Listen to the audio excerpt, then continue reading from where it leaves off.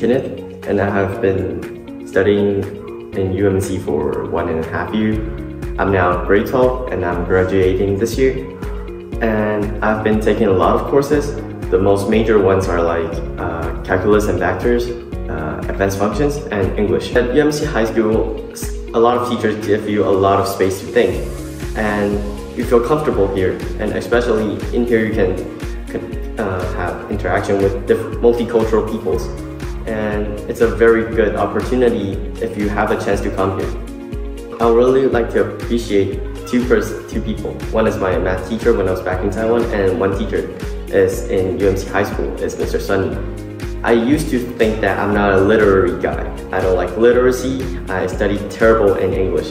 But Mr. Sunny gives give me a lot of imagination, give me space, and so it let me think freely, and so I can do myself. And that made me feel very comfortable studying with him and yeah, that's two people that I appreciate a lot. This medal is the award that I got in my graduation. Mr. Sonny gave me this. This is the English award. So this is one of the proof that I study well in his class and I like him a lot, really.